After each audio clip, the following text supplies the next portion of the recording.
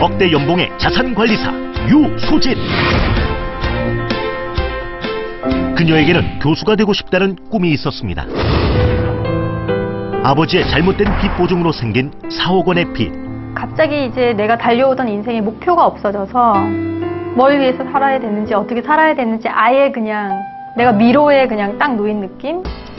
빚을 갚기 위해 꿈을 포기한 그녀는 자산관리사의 길을 선택했습니다. 자산 관리에 대해서는 조금밖에 안 가르쳐 주시는 거예요. 어떻게 해야 되나? 나가야 되나? 어떻게 인생을 살아갈 것인가 같이 계획을 세워주는 사람이 되고 싶었던 거죠. 자신만의 고객 관리로 입사 8년 만에 연봉 6억 원을 달성. 고난을 이겨내고 새 인생을 개척한 자산관리사 유소진 씨를 소개합니다.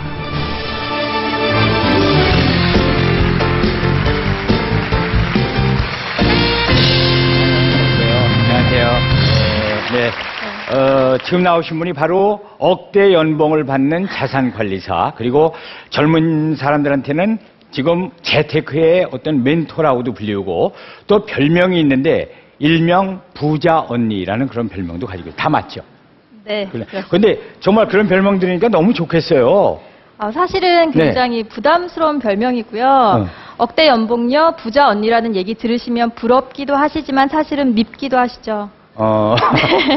근데 어, 제가 네. 어떤 시간을 지나왔는지 얼마나 뼈를 깎는 노- 그 고통을 어, 지나왔는지는 잘 생각들은 안 해주시는 것 같아요. 맞아요. 네. 그러니까 그런 별명을 얻기까지의 어떤 그 과정이 진짜 그 피눈물을 흘리는 과정이 있었는데 사람들이 이제 그걸 건너뛰고 지금 현재만 보고 막 부럽다고 그러고 이제 조금 좀 샘을 내기도 하는데요. 네. 오늘 그러면 해주실 얘기가 바로 그 과정 얘기가 될까요? 네, 제가 지나왔던 과정을 들어보시면 네. 아 나도 저 평범한 사람이 저렇게 된 걸 보니 어. 네. 나도 부자가 될 수 있겠구나라는 생각을 하시게끔 도와드리기 위해서 나왔습니다. 그럼 오늘 강연을 잘 경청하면 누구나 부자가 될 수도 있겠습니다. 그렇습니다. 네, 그래서 오늘 강연 주제가 부자가 되고 싶으세요? 그러는데, 네, 벌써 몇 분이 네 그러시잖아요. 네, 부자가 되고 싶으세요? 같이 박수 청해서 들어보겠습니다.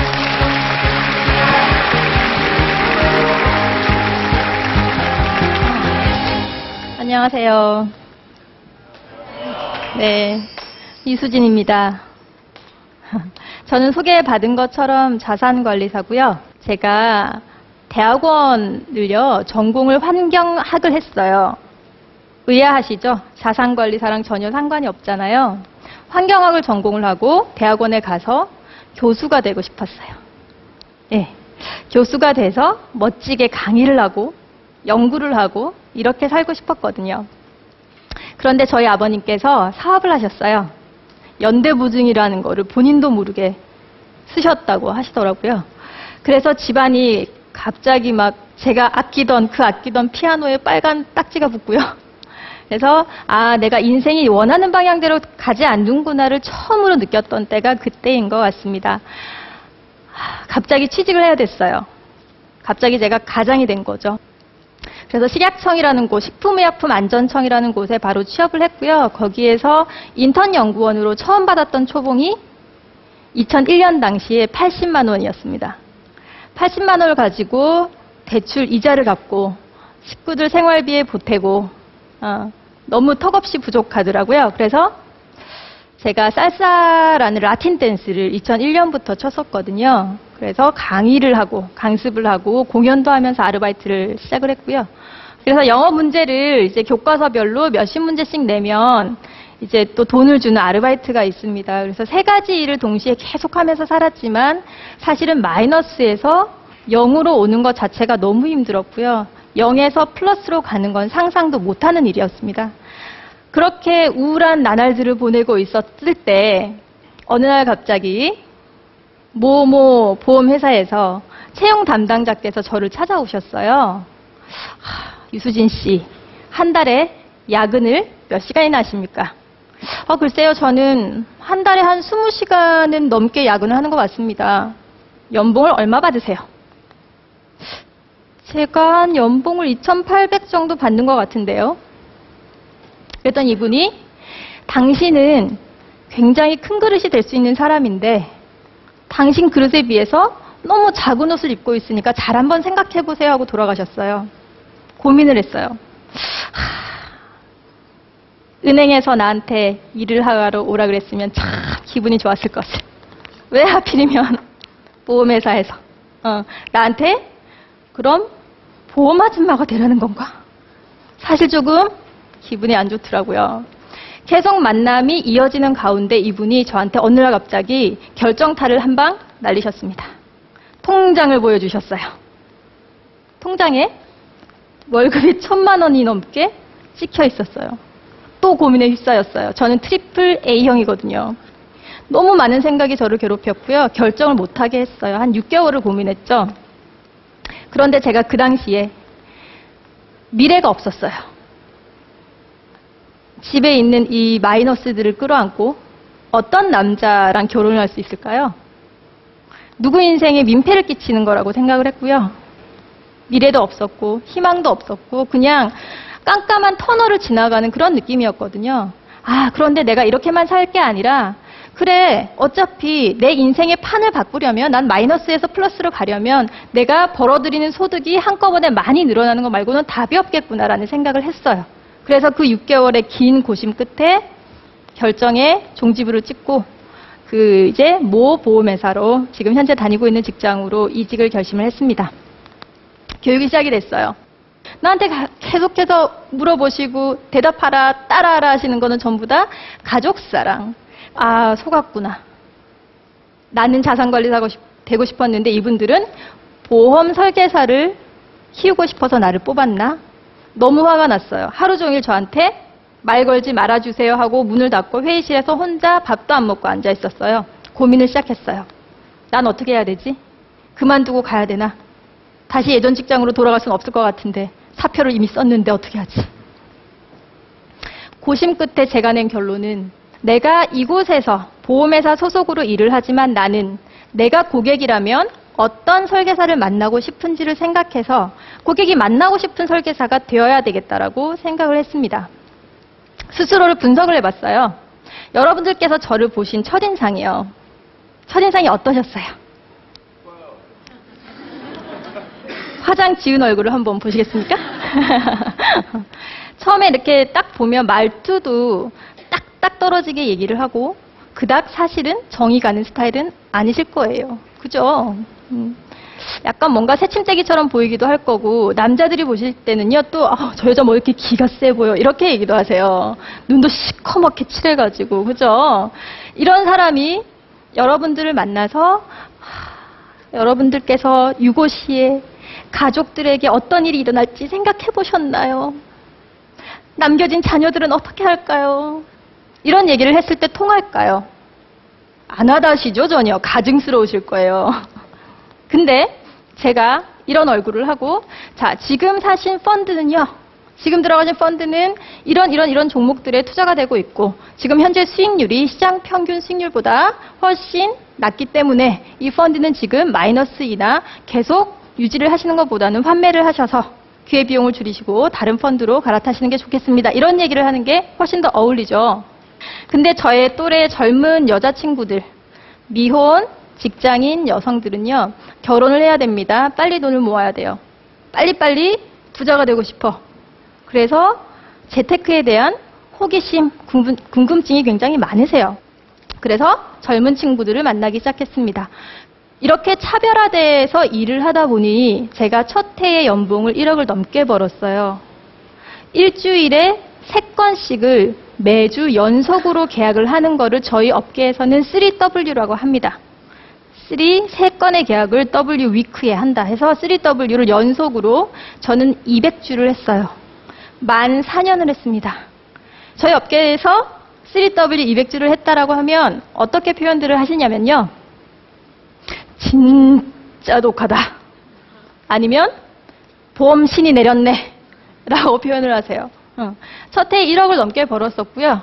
둘째 해에 2억 7천만 원 세금 신고액이요. 셋째 해에 정확하게 5억 7천만 원을 벌었습니다. 어. 그래서 여러분들께서 방송에서 보셨던 6억 연봉녀가 됐죠.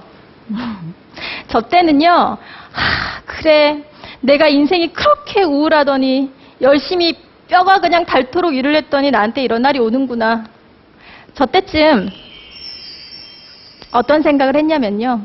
내가 이렇게 매년 열흘 정도 과로로 입원을 하고 한 번 입원하면 병명이 4개가 한꺼번에 나왔었어요. 급성 편도선염, 출혈성 위염, 철결핍성 빈혈, 급성 신우신염, 면역성이 떨어져서 올 수 있는 모든 병들이 한꺼번에 오더라고요. 그렇게 매년 입원을 하면서 일을 했고 하루에 4, 5시간씩 밖에 못 자고 일을 했기 때문에 좀 편해지고 싶었어요. 그런데 그때 훅 하고 들어왔던 게 투자를 하라는 제의.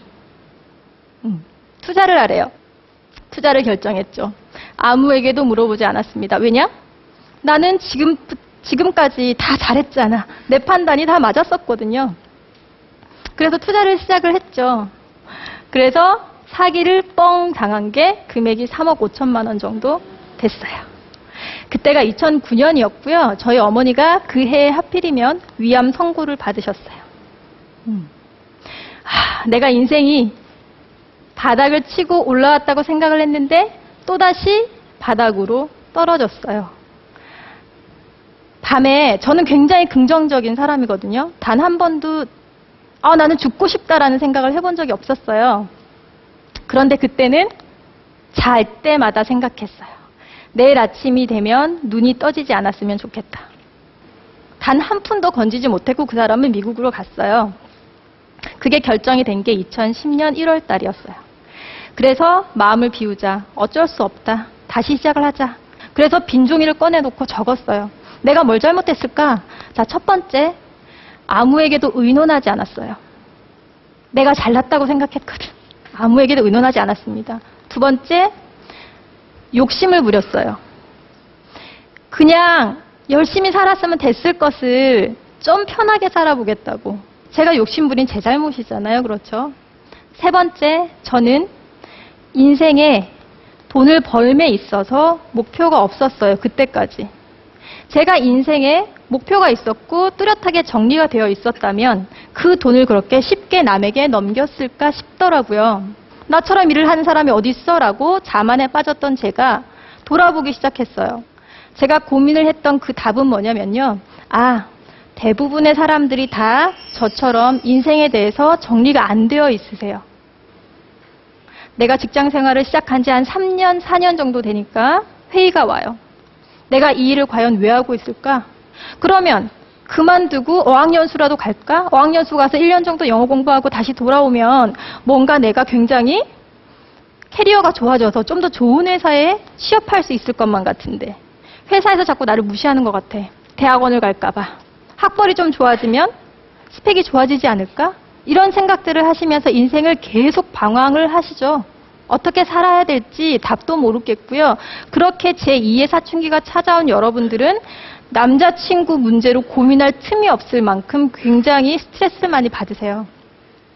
인생이 그렇게 정리가 되어 있지 않으시면 언제, 어떻게, 얼마만큼 돈을 벌 건지도 당연히 정리하실 수가 없어요. 여러분들께서는 부자가 되고 싶어 하는 막연한 열망만 있으시죠?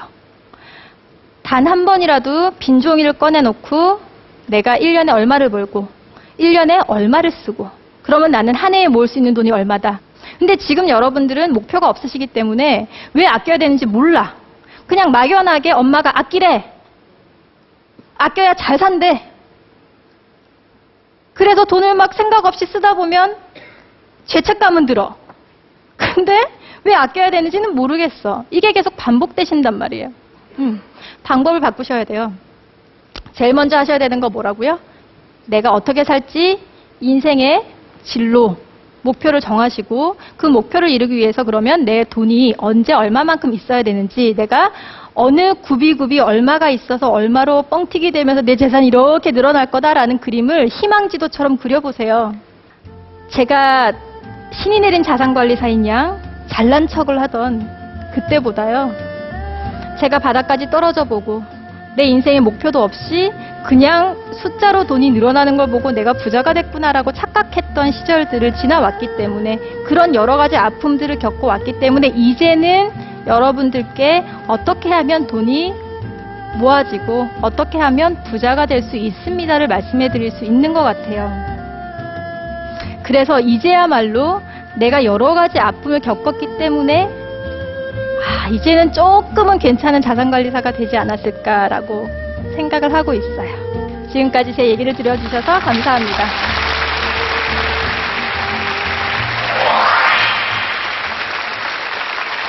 얘기를 이렇게 들어보니까 유수진 씨는 그 인생의 고비를 넘으면서 확실한 내 철학이 생긴 것 같아요. 그렇죠? 네. 오늘 강연 잘 들었고요. 이제 여러분의 그 공감 온도를 알아보도록 하겠습니다. 자, 버튼 손에 잡으셨죠? 버튼 눌러주세요. 자, 보겠습니다. 유수진 씨의 부자가 되고 싶으세요? 강연의 공감 온도 보겠습니다. 자, 공감 온도 올라갑니다. 93도를 기록했습니다.